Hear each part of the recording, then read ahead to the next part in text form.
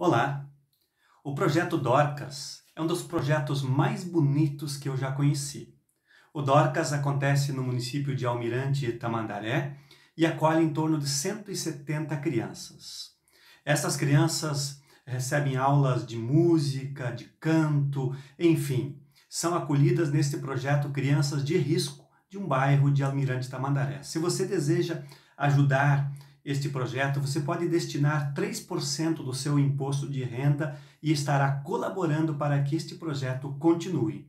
Colabore, é um gesto de amor.